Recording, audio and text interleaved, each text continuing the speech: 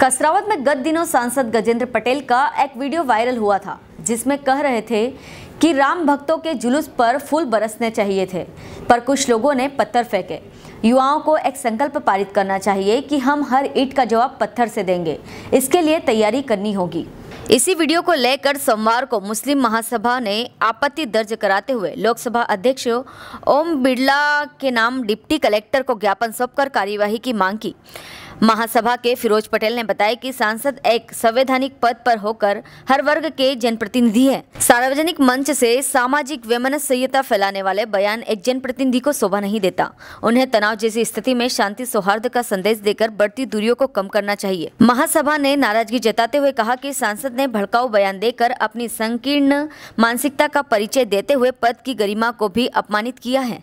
सांसद का संवैधानिक पद बना रहना सांसद का संवैधानिक पद बना रहना जनहित में नहीं है। उनकी सदस्यता निरस्त की जाए।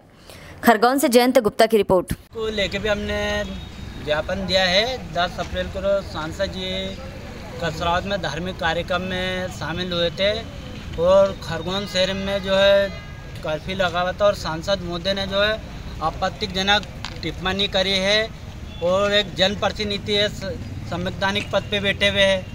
उसको हर सांसद जी को, हर समाज के तबके के वो जनप्रतिनिधि और सांसद है। हमने लोकसभा स्पीकर ओम बिरला जी को पत्र लिखा है कि उनकी जो है लोकसभा की सदस्यता रद्द की जाए। आइंदा कोई भी जनप्रतिनिधि हो, कोई सी भी पार्टी का हो, कि आइंदा जो है इससे हरकत ना करे और खरगोन शहर में माहौल खराब है और प्रजा को यानी उत्साह दिलाना कि खरगोन शहर में माहौल खराब हो और खरगोन शहर आग में जलता रहे। ऐसे जनप्रतिनिधि ने तो भाईचारे का संदेश देना चाहिए।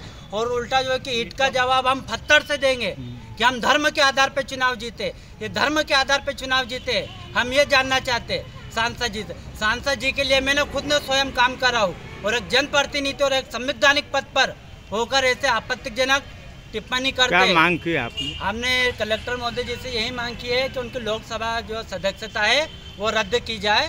केवल हमारी यही मांग है। क्या नाम है आपका? मेरा नाम है फिरोज पटेल मुस्लिम महासभा का जिलाध्यक्ष हूँ खरगोन ज़िले से। जो ओम बिरला जी को पहुँचाने हैं वो हेड स्पीच वाला पूरा मामला है। ज्ञापन भी मिला है आपको सर। किस तरह की कार्रवाई की हाँ ज्ञापन प्राप्त हुआ है तो वो विधिवत हमारी ज्ञापन शाखा के माध्यम से हम उसको माननीय लोकसभा अध्यक्ष जो है, वो बिरला सर को पहुँचा देंगे और उसमें जो भी विधि सम्मत और नियमानुसार निराकरण होगा, वो किया जाएगा। हेलो फ्रेंड्स आप देख रहे हैं हमारा channel S W twenty four news हमारे सारे वीडियो सबसे पहले देखने के लिए आप हमारे चैनल को सब्सक्राइब करें और पास में लगे बेल आइकन को दबाना बिल्कुल भी ना भूलें।